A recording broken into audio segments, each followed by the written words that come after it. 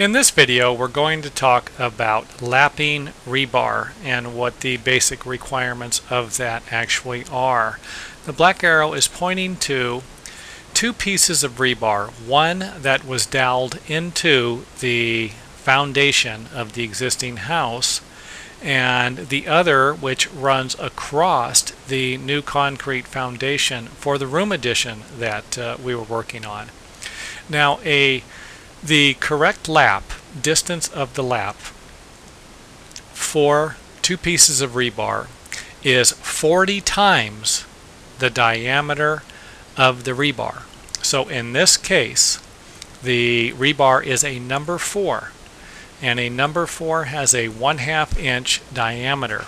So if we multiply 40 times 0.5 or 40 times 1 half of an inch, we will get 20 inches. So the rebar needs to lap a minimum of 20 inches um, in order to um, have the correct distance there. Now, um, just to give you a better idea, you know, I went with a half inch. Let's just pretend like we were using one inch rebar. This is um, simpler.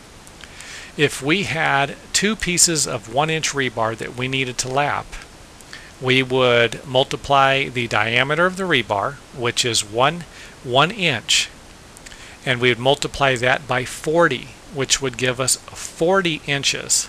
So we would actually need to lap a one inch piece of rebar 40 inches. Now that is a large lap. So again, that should give you an idea if you're ever going to do any concrete work, foundations, um, and then make sure that they're tied off good. Now, another thing I would like to point out is this might not be the case all the time you should always check with a structural engineer, your building department, or someone else. I'm just trying to give you a general idea of what um, is standard in the construction industry.